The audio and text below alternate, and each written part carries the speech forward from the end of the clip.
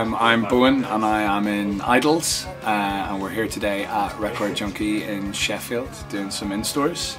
We just released our album uh, Joy as an Act of Resistance last Friday. Um, we've been doing lots of in-stores, playing lots of gigs. Um, and I've been using Hiwatt stuff for around half a year now. Um, we used a lot of that stuff on the recording of the second album, um, but starting to use it live. Um, the big thing about Hiwatt for me is that I chuck a lot, a lot of different gain stages at amps. And sometimes amps don't like more than one gain stage chucked at them at a particular time. But the Hiwatt can handle that. So you can hear the subtle differences when we got when I've got the gain or a boost on my delay I've got gain and boost on fuzz and all that kind of stuff and it all kicks in and it handles it really well. And the other thing as well is it's got really good mid funk.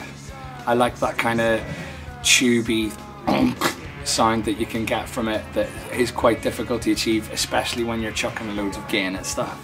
Um, and then the other thing as well is you can be really, really loud and really clean at the same time, which is great.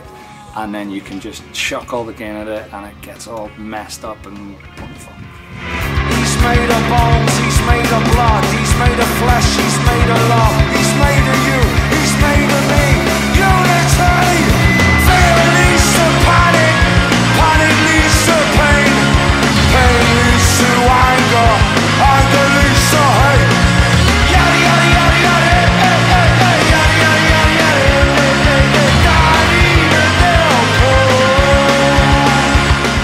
Hiwatt have, have been absolutely amazing. Um, ever since I got in contact with them, they are incredibly enthusiastic, passionate people about making amps and making things sound fantastic and helping bands out. You know, like going over to tour in America and they've helped find an SA212 uh, custom 50 for me um, which will fit in the back of our tiny little van and also be loud as hell on stage.